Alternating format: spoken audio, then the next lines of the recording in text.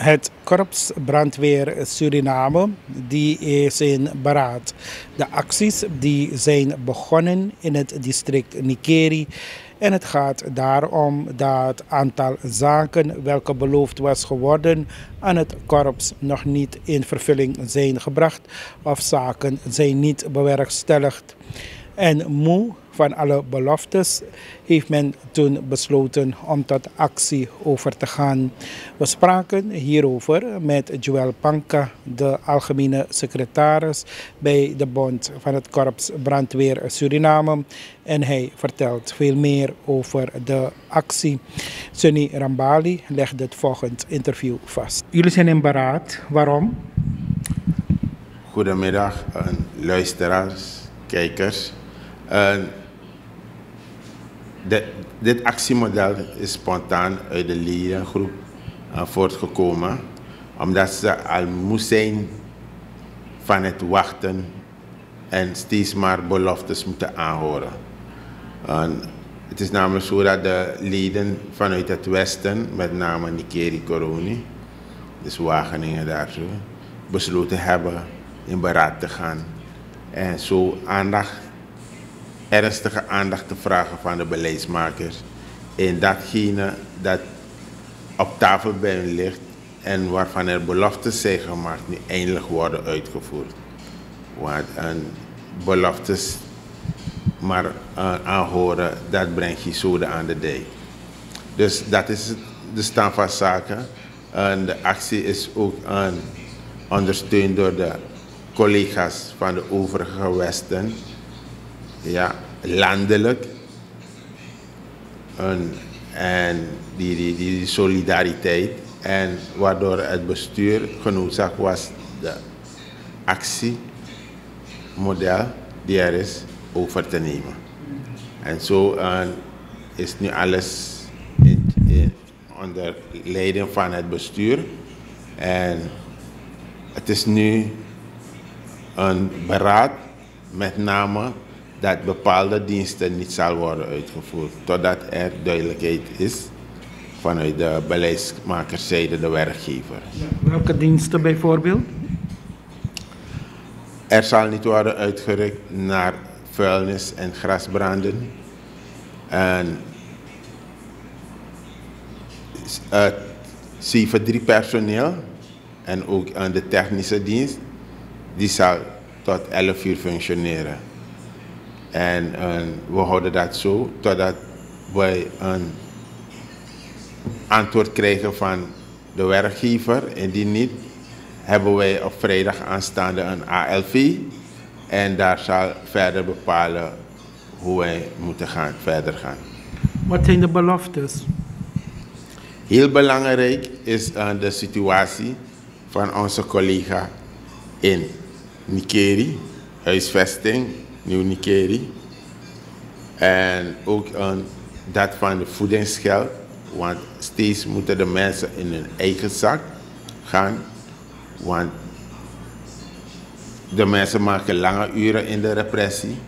Maar ook zij die een, een overuren moeten maken, die komen niet uit met het schrammelige dat ze krijgen om eigenlijk aan de meer uren door te brengen. En ook binnen de repressie die 24 uur is haast niet voldoende. Dus daar hadden wij aanpassing gevraagd van voedingsgeld en ook de kwestie van die voor, medische voorziening. En, want het is niet te doen, niet te betalen.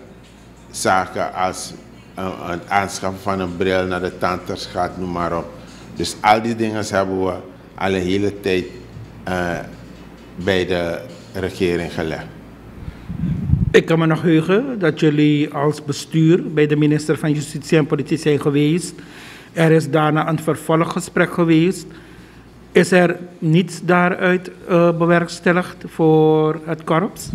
Dus eerlijkheidshalve moet ik aangeven dat uh, vanuit de zijde van het ministerie van Justitie en Politie het werk zo'n beetje is gedaan. En daarom zeg ik, de, de beleidsmaker, de werkgever, dan doelen we op de regering. Omdat zaken nu bij de regering en wat we hebben begrepen bij de Raad van Ministers liggen om goedgekeurd te worden. En ik weet niet hoe lang men nog nodig heeft om goedkeuring te geven zodat zaken uitgevoerd kunnen worden. We weten en we zijn daarvan bewust dat binnen het ambtelijke het een proces heeft dat zaken de loop moeten, uh, moeten gaan. Maar uh, dat mag niet gaan ten koste van ons als brandweerlieden. Begrijpt jullie het gevoel als bestuur dat jullie zaken dan niet serieus genoeg worden genomen? Dat is het. is meer dan een gevoel. We worden niet serieus genomen en nu willen we wel tonen en aangeven dat we serieus genomen worden. Want uh, die houding zijn we zat.